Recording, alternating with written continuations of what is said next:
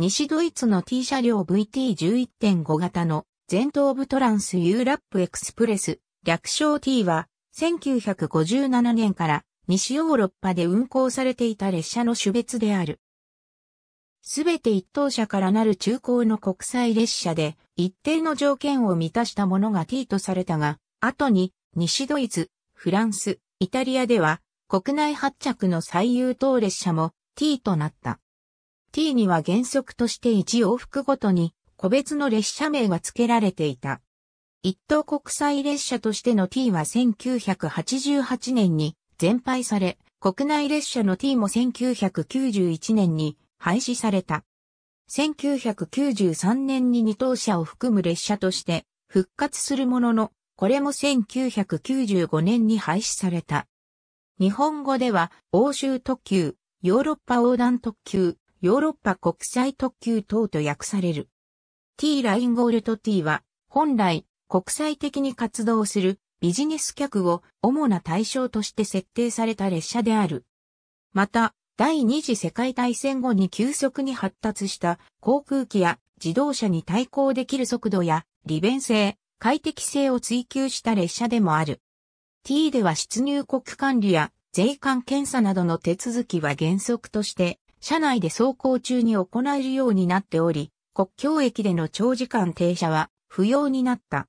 また食堂車を連結するか、もしくは、車内の厨房からケータリングサービスが行われた。列車によっては、車内からの電話や秘書によるタイプセットなどのサービスが行われるものもあった。ほとんどの系統で T は1日に1往復から2往復程度であり、早朝に始発駅を出て昼頃に終着駅に着き、逆向きの列車は夕方に発車して深夜に到着するというダイヤが組まれた。これはビジネス客の出張利用を想定し、午後を目的地での仕事に使えるようにしたためであり、昼間を列車の中で過ごすことはあまり想定されていない。T の利用には各国鉄の一等運賃を合算したものに加え、T 用の特急料金が必要であった。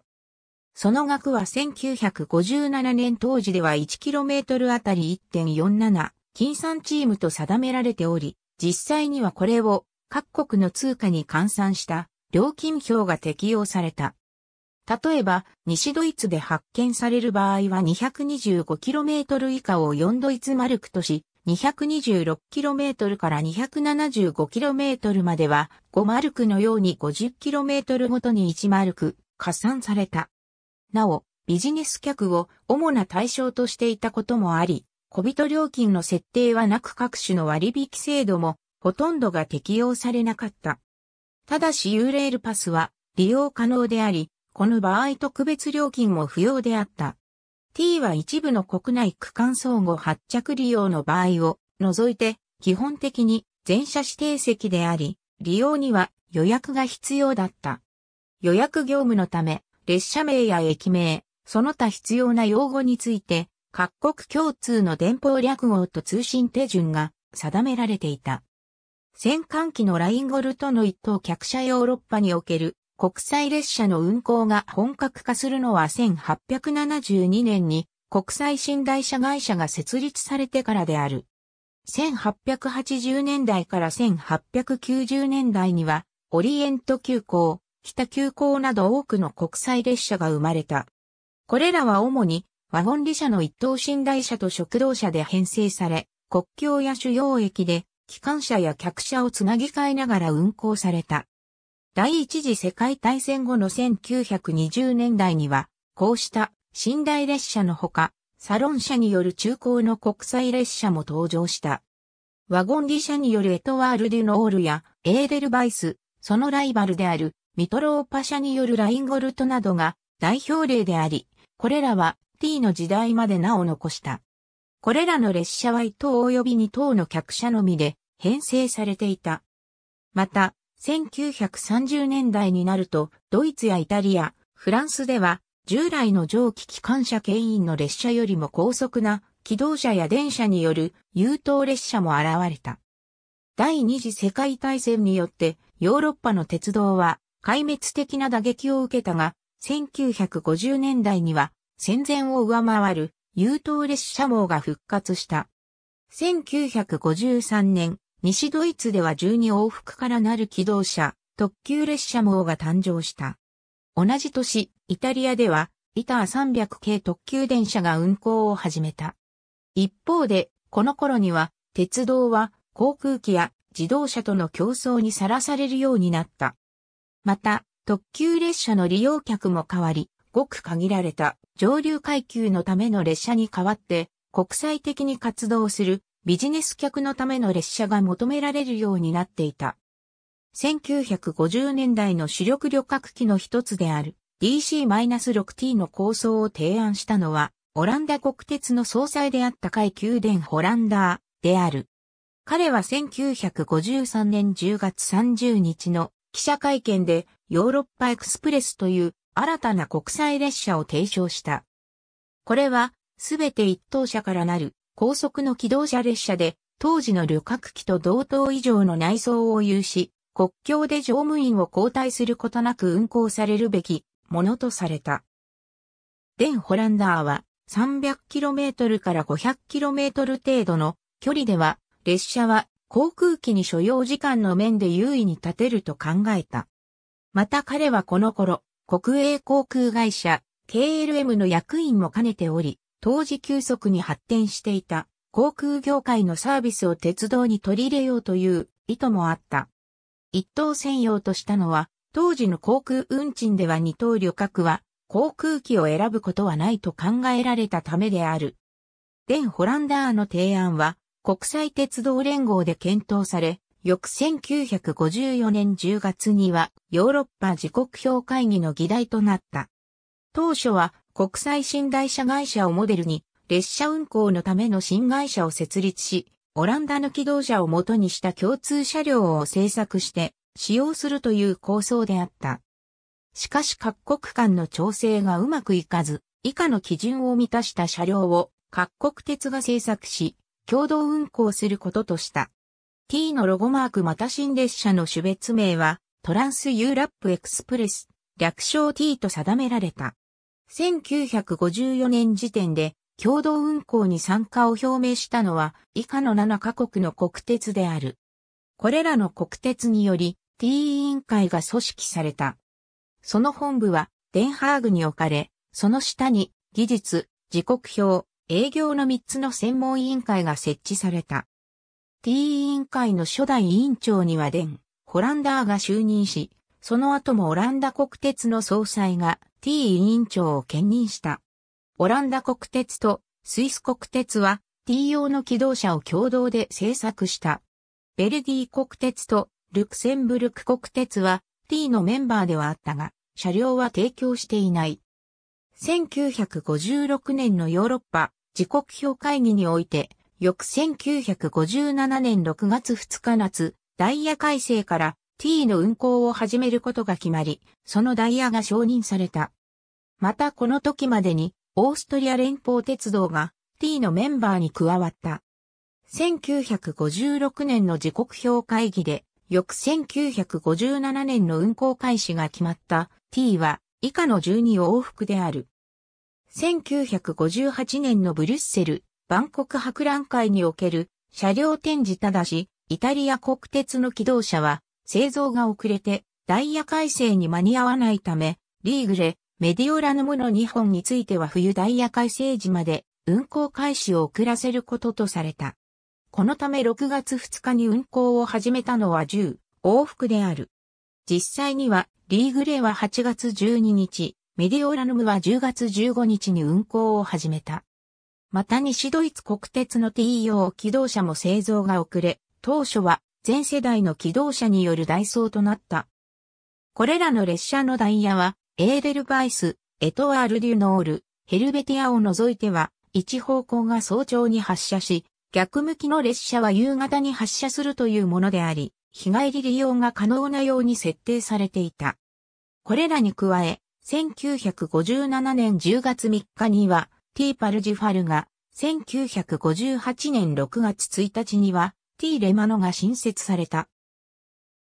ヨーロッパ諸国の主な電化方式直流1500ボルト直流3000ボルト交流 15kV16 に 3Hz、交流 25kV50Hz-T は当初すべての列車が機動車列車であった。しかしスイス国鉄では、アルプス山脈やジュラ山脈の急勾配区間を超える列車では、機動車では出力不足であり、強力な電車が必要であると考え、1957年以来、国際列車用の電車の研究を行っていた。一方で、西ヨーロッパでは主に以下の4通りの電化方式が混在していた。1961年、スイス国鉄はこれら4方式すべてに対応したらえ、T2 型電車を投入し、ゴッタルド、ティチーノ、シザルパンの3往復の電車 T が新設された。1960年代には西ヨーロッパの主要幹線の電化が進み、スイス以外の各国鉄も T に電気動力を用いようとした。しかし構造が複雑で取り扱いの難しい硬直量用電車は受け入れられず、電気機関車牽引の客車列車とし、必要に応じて機関車を交換しながら運行する方法が選ばれた。また、国境付近など電化されていない区間では、ディーゼル機関車が用いられることもあった。1963年9月1日、パリ・ブリュッセル間の T ブラバントが初の電気機関車牽引の T となった。1964年以降フランス国鉄とベルギー国鉄は共同で開発した T 用客車をパリ・ブリュッセル・アムステルダム系統の T に用いるようになった。後にスイス国鉄もフランスと同型の客車を保有するようになり、フランス国鉄所有者と混結して、フランススイス間などの T に用いた。西ドイツ国鉄では1962年にラインゴルト用に製造したのと同型の客車を増備し、T にも使用した。1965年3月1日に T ヘルベティアが初の西ドイツ客車による T となった。イタリア国鉄では T に機動車を用い続けていたが、1960年代末になると、イタリアの T 用機動車は、冷房がないなど、他国の T 用客車と比べ見劣りし、もはや T にはふさわしくないとされるようになった。そこで、イタリア国鉄も1969年に T 客車の開発に着手した。1972年5月28日に T レマノが客車列車化され、1972年中にイタリア国鉄担当の T はすべて客車化された。オランダ、ルクセンブルク、オーストリア、デンマークの各国鉄の客車は T には用いられていない。ただし、ルクセンブルクを除く各国の機関車は T の牽引に用いられた。なお客車化によって余剰となった T 用機動車を用いることにより、新たに T に格上げされた列車にディアマントとババリアがある。ただしこれらも後に客車列車化されている。最後まで機動車列車として残った T はエーデルバイスであるが、これも1974年5月26日に電車化され、機動車 T は消滅した。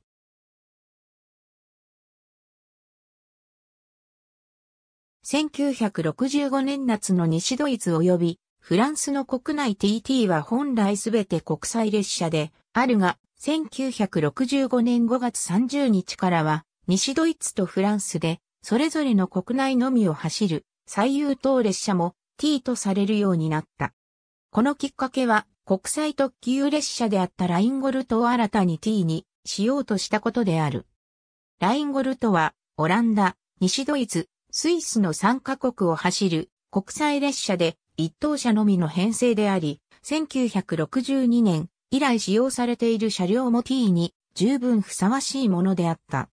そこで1964年の T 委員会で、西ドイツ、オランダ、スイスの三国鉄は、ラインゴルトを T とすることを提案した。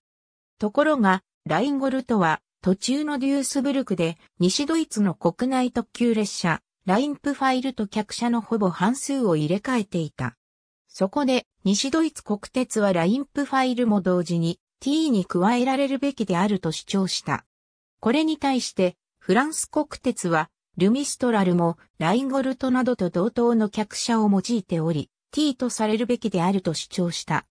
委員会での交渉の結果、ラインプファイル、ルミストラルのほか、ラインゴルトと同型の客車が使われている、ブラウエルエンツィアンも T に昇格することになり、3往復の国内 T が誕生した。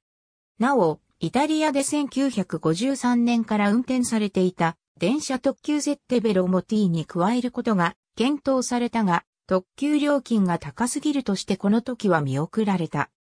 その後1970年にブラウエルエンツィアンはオーストリアまで延長されて国際列車となった。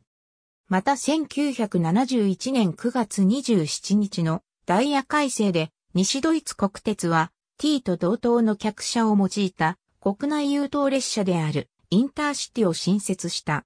これによりラインプファイルはインターシティに種別を変更し、西ドイツ国内列車の T は一旦姿を消した。フランスでは1969年にルミストラルを保管する国内 T としてルリヨネが新設され、1970年からはその他の幹線にも国内 T が次々と誕生した。最盛期には国際 T と合わせるとパリを起点に放射状に広がる幹線のほぼすべてに T が運行されていた。また、イタリアでも1973年から国内の優等列車の一部が T とされるようになった。これらは前年に国際 T に投入した客車を改良した新型客車グランコンフォルトを用いていた。1974年にはセッテベロも T となった。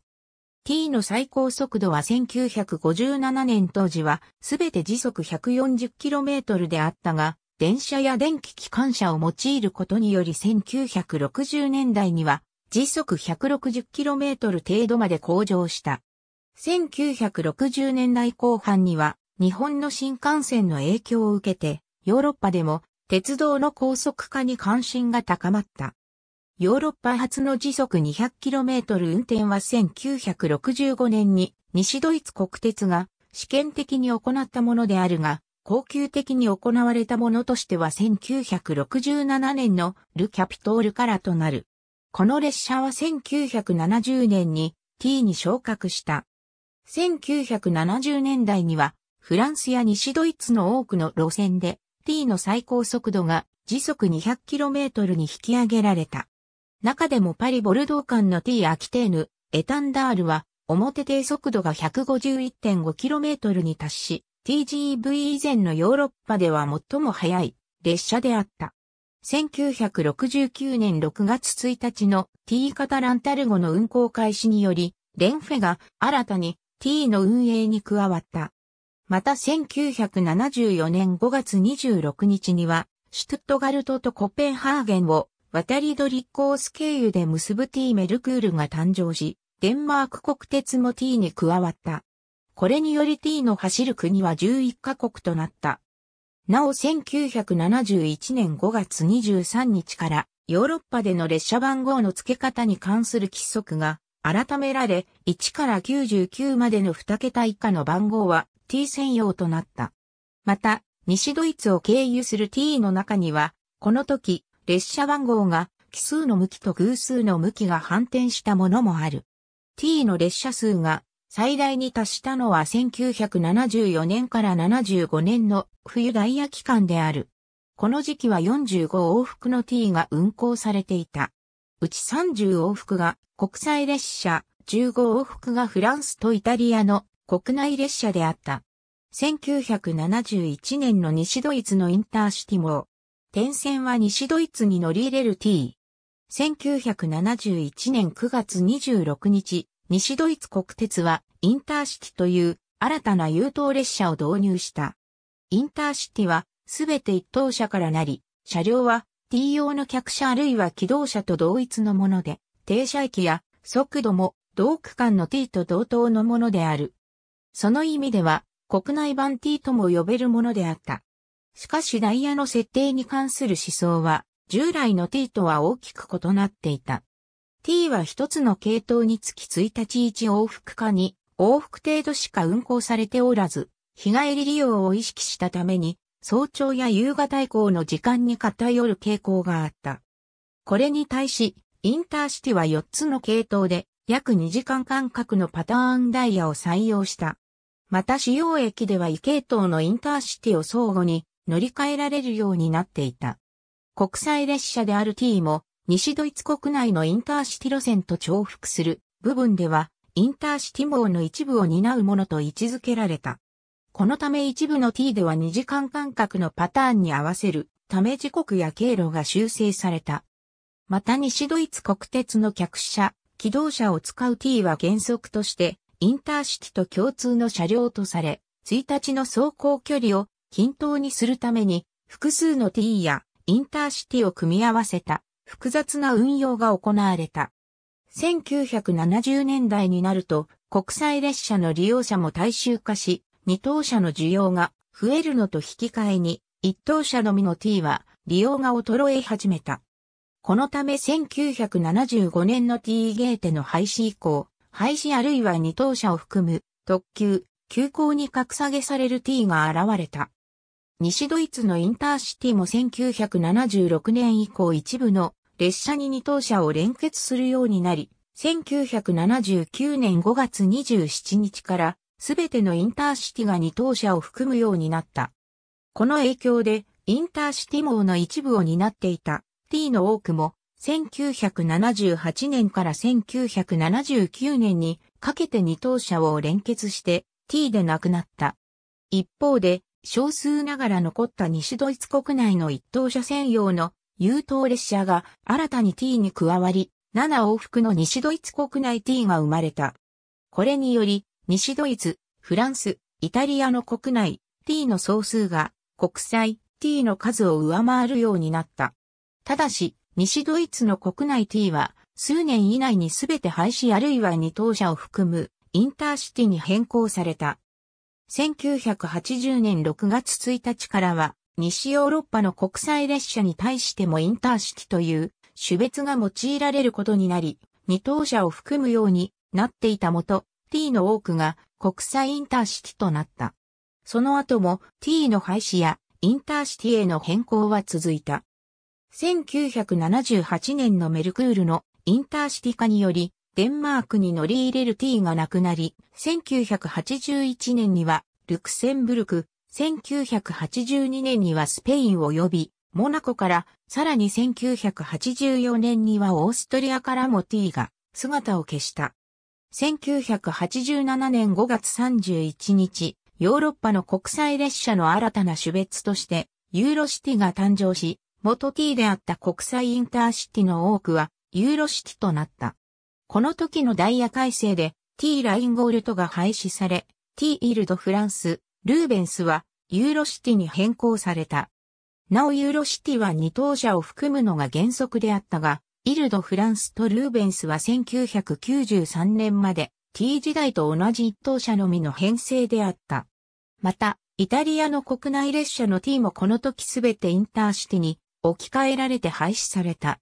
これにより T として残っているのはゴッタルドとフランス国内の4往復のみとなった。ゴッタルドは1988年9月25日のダイヤ改正をもってユーロシティに種別変更され、一等車のみからなる国際列車としての T は消滅した。フランス国内の T も次々と二等車を含むコラユ、または TGV に置き換えられた。最後まで T として残ったのは、パリとトゥールコアンをリール経由で結んでいた一往復であるが、これも1991年5月31日の運行を最後に廃止された。なお、1982年から1993年までフランクフルト空港とボン、ケルン及びデュッセルドルフを結ぶルフトハンザ・エアポート・エクスプレスという列車が存在した。この列車は T として承認されたものではなく、ルフトハンザドイツ航空の利用者専用であり、鉄道の時刻表には掲載されていなかった。しかし西ドイツ国鉄はこれに T としての列車番号を付けて運行した。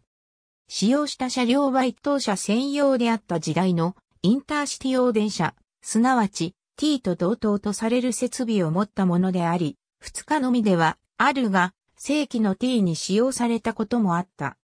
1993年5月23日からフランス国鉄とベルディ国鉄はパリ・ブリュッセル間を途中駅無停車で結ぶ列車4往復を T とし、列車種別としての T が2年ぶりに復活した。ただしこれらの T はかつてと異なり、一等車と二等車の双方を連結していた。これらの列車に T の種別名を用いたのは、マーケティング上の理由によるものである。当時、パリ・ブリュッセル間の列車は航空機との競争にさらされていた。この頃、ユーロシティの種別は陳腐化してしまっていたため、よりイメージの良い T の名称を用いたのである。1995年1月23日、パリ・ブリュッセル間の TGV 運転開始と引き換えに T のうち3往復が廃止され、ブリュッセル行イルド・フランスとパリ行、バトーのみが残った。この1往復も1995年5月26日の運行を最後に廃止された。この日20時1分にブリュッセル南駅に到着したイルド・フランスが史上最後の T となった。観光列車として運行される元 T 車両 T が本来の目的を果たした期間は決して長くはなかったが、ビジネスユーザーをターゲットとしたその上質のサービスは、鉄道におけるサービスレベルの向上に貢献した。また、各国が競ってサービス向上に努めたことも特筆されよう。これらの要素は、後のインターシティや現在の高速鉄道にも引き継がれている。そのため、ヨーロッパの鉄道市民会では、T なき後も、それに対する思い入れが強い。2007年は、T が運転を開始して、ちょうど半世紀が経過した年であるが、すでに T として運転されている列車は皆無であるにも、かかわらず、当時の車両によるイベント列車をはじめとして、50周年記念行事や出版物の発行が行われている。一方、2000年には中央3カ国の鉄道事業者であるドイツ鉄道、スイス連邦鉄道、オーストリア連邦鉄道により T レールアライアンスと呼ばれる組織が結成されている。20世紀末から急速に発展している航空連合に対抗する意味もあり、この3カ国を相互に結ぶ列車に対し、統合されたサービスを提供することを目標としている。個別の列車の新設、廃止、区間変更等については、後の T 列車一覧説及び各列車の記事を参照。短期的に提案されるルートは以下の通り。ブレンナーベーストンネル、フェーマルンリンクや新しいドイツのシュトゥットガルトールム高速線など、新しい路線の完成によって提案がなされている。日中の高速 T2.0 の計画には以下のものが含まれる。VT11.5 型 VT601 型 VT601 型1986年1957年の T 運転開始時に製造された液体式ディーゼル動車。7両編成、全長130.7メートルで両端の車両が動力車。出力は 1100PS にイコール 2200PS。最高速度は時速 140km。ボンネットスタイルが特徴。T には1973年まで使われ、一方1968年から1979年までは国内特急に投入され、そして晩年は波動輸送用となる。インターシティでは時速 160km 運転を行うため、一部の動力車は 2200PS のガスタービンエンジンに換装されて VT602 型となり、編成の片側の動力車に連結された。東西ドイツ統一直前の1990年8月からわずか2ヶ月間ではあるが、ベルリンとハンブルクを結ぶインターシティ、マックス・リーバーマンにも使用され、フリーゲンダーハンブルガーの再来とも言われた。現在はイベント用に保存。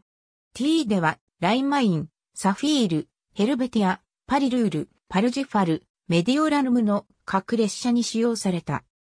VT7.5 型 VT8.5 型 VT8.5 型1957年の T 運転開始時には前述の VT11.5 型の落成が遅れ、必要編成数を確保できなかった。そのため、運転開始後の短期間ながら、1950年代に製造され、すでに西ドイツ国内で運用されていた特急用機動車である VT7.5 型 VT8.5 型が T として運用された。VT11.5 型の増備に伴い順次置き換えられたが、過渡期には VT11.5 型と VT8.5 型の並結もあった。X2700 型1957年の T 運転開始時に製造された 825PS の液体式ディーゼル動車で最高速度は時速 140km。X2700 型そのものは在来型の長距離列車用の機動車であったが、その一部編成を T 仕様として製造し、営業運転に備えた。この機動車は動力車と制御車の2両編成でユニットとなり、このユニットを2つ連結して4両編成で運用される場合が多く、制御車の先頭部分には貫通ホロが内蔵され、運転台周りは非常に凝った造作となっていた。また、各編成でヘッドライトの位置や形状にバラエティがある。現在はすでに引退、車体は更新されて、近郊型の機動車に生まれ変わっている。T では、モンスニ、アルバレート、パルジファル、イルドフランス、パリルールに使用された。この TO 編成には、厨房が設置され教食サービスは行われたものの、食堂車の連結はなく、座席も他国の専用車両に比較してやや見劣りがしたためか、1965年までと比較的使用期間は短かった。デ4型、ラムテイ型、T エーデルバイス1957年の T 運転開始時に製造された電気式ディーゼル動車。4両編成の一端が動力車で、多端は客車に運転台を付けた制御車。2カ国の国鉄で共同開発され、動力車をオランダが、客車をスイスが製造し、両国鉄が同一仕様の車両を所有、運用した。運行開始当初は、エーデルバイス、エトワール・デュノール、オワゾブルーに使用された。なおこの形式は、事故で一編成が廃車されている。1974年まで T に使われて引退した。後、カナダのオンタリオノースランド鉄道に譲渡されて、トロント、国連間の特急列車、ノースランダーに1977年から1992年まで使用された。その後様々な曲折を経て、制御車2両と中間車3両の稽古量が2006年にオランダに里帰りしている。アルニ442アルニ448-1957年の T 運転開始時に製造された機械式ディーゼル動車。2両編成ながら1両の長さが約28メートルあり、教職設備も有していた。この機動車は T 車両としては唯一床下機関を持つ車両で、客室床も他の客車より高い設計だった。また、空調装置は装備していなかった。通常は2両で運用されたが、T 以外の運用では中間に付随車を連結し3両で運転されることもあった。1972年まで T として使用後、アルニ442は厨房を撤去してアルニ460に解消し、国内特急列車に1982年まで使用された。現役当時はリーグレ、レマノ、メディオラヌム、モンスニに使用された。最高速度は時速 140km。使用一覧、大定位型ラベ EC 型ラエ定位型 T 専用として製造されたものとしては最初の電車で1961年製。4電気方式に対応。クリーム色と紅色の T 色。6両編成だが中間の1両に動力や機器を集中させており、電源や河川の使用の違いに対応した4つの終電装置を持ち、室内の約半分が機器室となっている。この中間電動車はいわば機関車と言えるもので、出力は 594kW4 イコール 2376kW クイル式駆動で、台車も三軸ボギーとなっており、日本の電車の間隔とは程遠いものがある。最高速度は時速 160km。1989年以降はユーロシティ用となり、一部座席が二等車に改装され、灰色のツートンカラーとなった。すでに営業運転からは引退したが、一編成は登場当時の姿に復元され、企画列車として主にかつてのゴッタルドのダイヤで運転されている。T では、シザルパン、ゴッタルド、ティチーノ、エーデルバイス、イリスの各列車に使用されていた。イター300型1953年に製造された曲線美あふれる優美な電車。車体はライトグレーと緑に塗装され、先頭スカート部の赤色がアクセントであった。それまでの特急用電車であったイター200型の発展型といえる。この電車は2プラス3プラス2の3ユニットの7両編成でカルダン駆動。各ユニットは連接構造になっている。運転席を2階に上げ、先頭部1階を展望スペースとした最初の本格的な長距離電車でもあった。このデザインは、その後日本の名鉄パノラマカーや小田急3100系、アンセに多大な影響を与えた。当初は2編成が製造され、その後第3編成が増備された。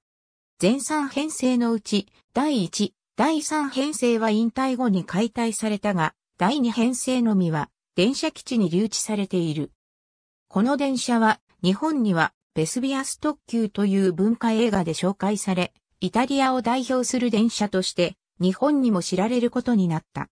ローマ・ミラノ間の運転で、もともとは T 列車ではなかったが、国内列車も T に組み込まれるようになってからは、そのまま T 列車、設定ベロとして運用された。この時点で台車の交換、ヘッドライトの強化などを行い時速 200km 運転に対応した。全長165.5メートル、定員160名、自重301トン、出力は 180kW12 イコール 2160kW。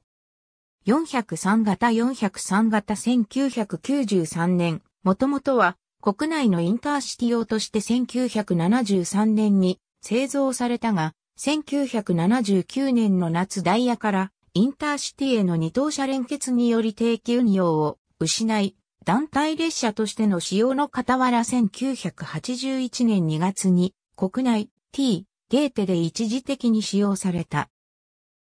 1982年からはルフトハンザエアポートエクスプレス用に改装されて運用された。ルフトハンザエアポートエクスプレスは航空機のチケットで乗車する列車で、正規の T ではなかったが、西ドイツ国鉄では T と同格に扱われた。4両編成で、その風貌からドナルドダックと呼ばれた。1993年運転終了。最高速度は時速 200km。フランス国鉄車、デブステンレス客車1950年代に、フランス国鉄の客車研究部の設計した客車。車体をアメリカ合衆国バット社のライセンスで製造したステンレス製とすることで、従来の客車より軽量化されている。1956年にパリ・ニース間の特急列車、ル・ミストラル向けに製造された車両は、ミストラル1956系とも呼ばれ、一等コンパートメント車とコンパートメントバー号作り車からなる。最高速度は時速 160km。1965年のミストラルの T 昇格とともに T の車両となった。ステンレス製であるため T の標準色とは異なり、車体は無塗装で窓の上に細い赤帯とトランスユーラップエクスプレスの金文字が入る。1969年にミストラルに新型車両が投入されてからはアルバレットやゲーテに転用されたが、この頃には新型の T 用客車と比べると見劣りするようになっていたため評判は好ましいものではなかった。1976年に T 運用からは退き、その後はフランス国内の列車などに用いられた。1980年代には一部の客車が二等車に格下げ改造されている。1989年9月をもってフランス国内での運用を終え、1990年には24両がセネガルに譲渡された。このほか、1978年に運行を始めたパリトゥールコワン間の T も短期間ではあるが1950年代のステンレス客車を用いていた。PBA 客車フランス国鉄とベルギー国鉄が共同で開発した車両で、1964年からパリブリュッセルアムステルダム系統の T に用いられた。T 専用車両として設計された初の客車である。車体はステンレス製で最高速度は時速 160km。塗装はミストラル56型と同様である。内訳は以下の通り。記号はフランス国鉄、ベルディ国鉄における分類記号と1972年以降の UIC 分類記号である。専用の食堂車はなく、列車内の厨房から座席へのケータリングサービスが行われることになっていた。1984年以降、パリブリュッセルアムステルダム系統の T がインターシティやユーロシティに変更された際には、一部の車両が二等車に改造された。1996年のユーロシティ、エトワール・デュノールの廃止により運用を終えた。ミストラル1969客車1969年にミストラルに投入された客車で新ミストラルとも呼ばれる。基本的な設計は PBA 型と同様であるが PBA 系統よりも乗車時間が長いことが想定されていたので食堂車が存在する。またミストラル専用に売店や利用室、秘書室を備えた特別バー車もあった。1968年から1970年にかけて86両が製造され、フランス国内 T のミストラル、リオネ、ロダニアンのほか、パリルールにも用いられた。1974年にはさらに36両が増備され、シザルパン及びパリブリュッセル系統の増発に当てられた。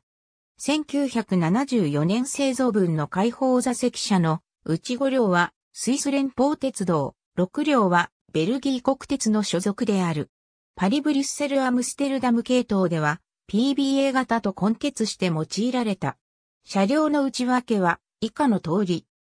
1976年以降のリオネ、ミストラルなどの廃止とともに、ミストラル69型はアルバレートやフランス国内の他方面への列車に転用された。1984年以降は一部が二等車に改造されている。1996年に営業運転を終え、1999年には44両がキューバに売却された。グランコンフォール1960年代にフランス国内の列車の高速化と居住性の向上を主な目的として開発された車両である。車内は1964年製の PBA 型とほぼ同じであるが、窓やドアの断熱、防音性能が改善されている。最高速度は時速 200km。車体は対向性構成で側面が曲面状になっているのが大きな特徴である。これは曲線部分の通過速度を上げるため車体傾斜機能を持たせようとしたためである。ただし車体傾斜機能そのものは運用を想定されている路線では時間短縮効果が少なく割に合わないとして見送られた。グランコンフォール客車は本来 T 用ではなく1970年にエタンダールで使用を始めた際にはこの列車はまだ T ではなかった。このため塗装は T 標準色ではなく、灰色地に窓部分が赤帯のグランコンフォール塗装であった。1970年の冬ダイヤ改正からグランコンフォール客車を用いるフランス国内列車を T に加えるようになり、マズルキャピトールが客車の更新とともに T となった。その後パリを起点に南西方面、東方面、西方面のフランス国内 T に用いられた。1973年になって窓の上にトランスユーラップエクスプレスの文字も取り付けられた。車両の内訳は以下の通り。1981年以降、一部は二等車に改造されている。1989年のジュールベルヌの廃止とともに T での運用を終え、その後は国内の一般列車やルクセンブルクへのユーロシティに用いられた。1999年に営業運転を終了している。その他1963年のブラバントの新設や1964年のオアゾブルーの客車列車化の時点では PBA 型客車の製造が間に合わなかったことから全世代の構成客車が一時的に用いられた。ミストラルは1969年まで旧国際寝台車会社の食堂車とプルマン車を連結していた。また、同期間に用いられていた電源車は1927年製の旧パリオルレアン鉄道の車両である。ル・キャピトールは1970年の T 昇格時から1974年まで、一部1970年以前の客車を連結していた。西ドイツ国鉄 TEE、IC 客車ラインゴルトの復元編成西ドイツの T 用客車は1962年に当時はまだ T ではなかったラインゴールト、ラインプファイルに使用された車両が元になっている。車体はそれまでのドイツの優等列車用客車を元に制定された国際鉄道連合の UICX 規格に準拠している。最高速度は初期のものは時速 160km であるが、1960年代後半以降に製造された車両は時速 200km 運転に対応している。1965年から T にも用いられるようになった。ラインゴルト用客車はクリーム地に紫体の塗装であったが、1965年以降 T 向けに製造された車両はクリーム地に赤の T 標準色であり、ラインゴルトの客車も後にこの色に塗り替えられた。車両の内訳は以下の通り。なお、製造数には T 運用についたことのないものも含まれる。また、ここでは1980年に使われなくなった扉の配置を表す記号であるは省略している。アドム101系展望車は中央部が2階建てとなっており、2階部分はドーム屋根の展望室である。1962年に製造された3両は、車両側面にはラインゴルトの文字が書かれていが、1963年製造分では、この文字はドイチェ・バンデスバーンに置き換えられている。WRMH131 系食堂車は、厨房部分が2階建てとなっている。こちらの側面には DSG の文字が書かれていたが、1967年にトランスユーラップエクスプレスと改められている。この2形式は、ラインゴルトのほか、1973年までラインゴルトと途中駅で一部の車両を入れ替えていた。ラインプファイル、1973年以降、ラインゴルトと共通の車両を用いていた。エラスムスのみで用いられたが、最高速度は時速 160km に限られており、1976年を最後に運用を外れた。WGMH804 系クラブ車はラインゴルト専用であり、1983年以降、ラインゴルトのミュンヘン方面編成に連結された。1971年にインターシティの運行が始まると T と同形式の客車がインターシティにも用いられるようになった。T における運用は1987年のラインゴルトの廃止とともに終わったものの、インターシティ、ユーロシティ用車両としては改装を重ねながら新型の客車とともに用いられ続けている。ただしバー車は1990年代にインターシティには連結されなくなった。ドーム型展望車は1976年に T で用いられなくなった後、改装されて観光列車アップフェルプファイルに用いられた。その後1981年にスイスの旅行会社ライゼビューロー・ミッテルトゥルガウに売却され、さらにそこから北ヨーロッパの企業に転売された。2005年には4両がドイツに里帰りし、1962年、当時の塗装や T 色に復元されて観光用に運行されている。残る1両は2007年現在スウェーデンで保存されている。なお西ドイツ国鉄車の T には、多脚機には1954年以来用いられている長距離列車用一等客車が増結されることもあった。イタリア国鉄車国際 T 客車イタリアの T 用客車は1972年に使用を開始した国際 T 用客車と1973年から用いられている国内 T 用グランコンフォルト客車の2種類が存在する。国際 T 用客車は荷物車が電源車を兼ねているのに対し、グランコンフォルト客車は河川から機関車経由で電力を得るため電源車はない。塗装も国際用が T 標準色であるのに対し、グランコンフォルトはクリーム地に灰色と2本の細い赤帯という独自のものであった。車両の内訳は以下の通り。ただしグランコンフォルトについては1987年までの製造数で T 運用に用いられていないものも含まれる。他国の T 用客車に見られる車内バーは存在しない。また国内 T 用の荷物車は UICX 規格の荷物車をグランコンフォルト、色に塗り替えたものが使われていたが、1976年以降、専用の荷物車が製造された。グランコンフォルト客車は1987年に T での運用を終えた後も一部を二等車に改造されて国内インターシティ用に用いられ続けた。1989年から1991年にかけても新世代のグランコンフォールト客車が製造されている。2007年時点でトレニタリアには約350両のグランコンフォールト客車が在籍する。塗装は白地に緑と青帯の XMPR 色に改められている。スペイン国鉄タルゴ 3RD、T カタランタルゴスペイン国鉄の低床連接式、客車タルゴの第3世代タルゴ3に、後期のスペインと標準期のフランススイスを直通するための機関可変機構を持たせたものである。1969年以降カタランタルゴに用いられた。タルゴ特有の一軸連接台車を用いており、車体長は他の客車の半分以下である。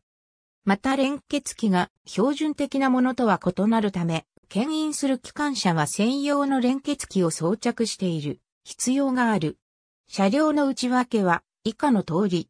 1982年にカタランタルゴがインターシティ化されるとともに一部の客車が二等車に改造された。カタランタルゴはバルセロナ・モンペリエ間に短縮されて運行を続けているが、LGV ペルピニャン・フィゲラス線の旅客営業が始まるとともに廃止される見込みである。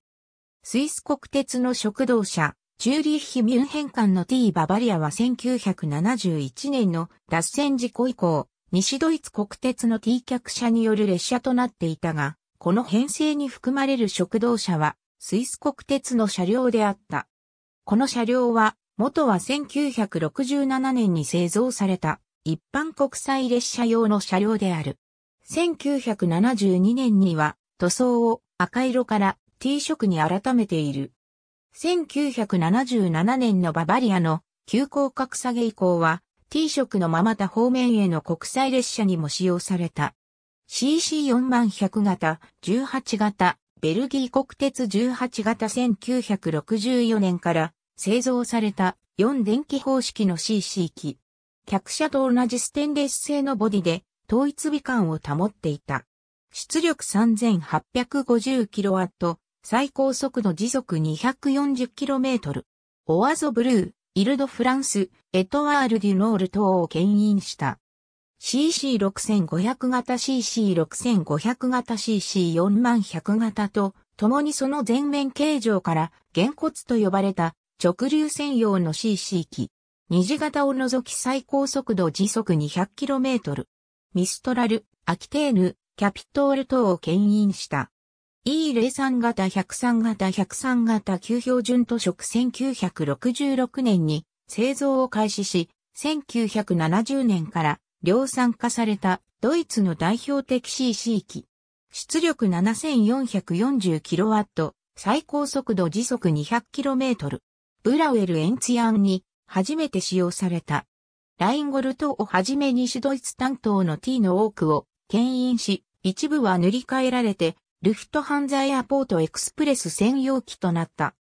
リヨン、4i 型リヨン、4i 型1033号機1982年1946年から製造された小型の BB 機で最高速度は時速 125km、当初は標準の能力色塗装、1972年以降は専用機が T カラーに塗装され使用された。スイスの食堂車を連結していたババリアと単編成のラインゴルト専用であった。T 塗装機は1033、1034、1046、1050の4両が在籍していたが、すでに引退。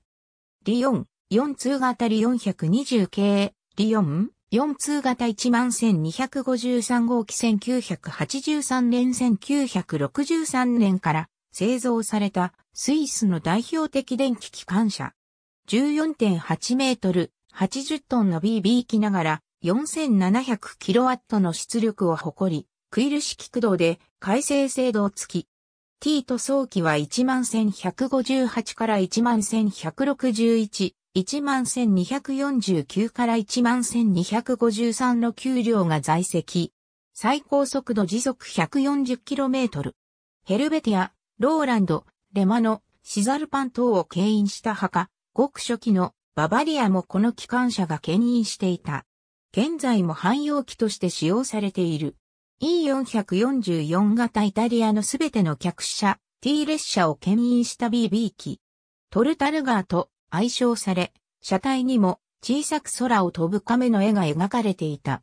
1985年以降、高速新線走行用に大規模修繕工事が実施され車体デザインも大幅に変更された。この改造により最高速度は時速 200km に向上した。269系1973年より製造が開始された客貨療養の BB 機。WN 駆動で客車牽引時の最高速度は140時速 160km。T を牽引した電気機関車の中で唯一、設計及び製造に日本の企業が関与しており、一部の車両は日本から輸出されている。専用のアダプター車両と共にカタランタルゴの牽引に用いられた。ニュルンベルクの保存車現役時代に使用された主な車両のうち、ドイツ、イタリア、オランダの機動車は整備され保存されている。また、スイスの T 電車は動体保存でイベント列車に使用されている。イタリアのイター300型電車は一編成が動体保存されている。ドイツでは VT600-2003 号車など4両がドイツの鉄道発祥の地のニュルンベルク中央駅のすぐ西にあるニュルンベルク交通博物館に生態保存されている。T として運行されていた列車は以下の通り。運行開始、終了は T としての運行期間を示し、これ以前や以後にも別の種別の列車として存在していたものもある。経路は運行開始時のものであり、その後の変化については主要なもののみ記載している。また曜日などにより運休となったり、運行区間を延長、短縮していた列車もある。ありがとうございます。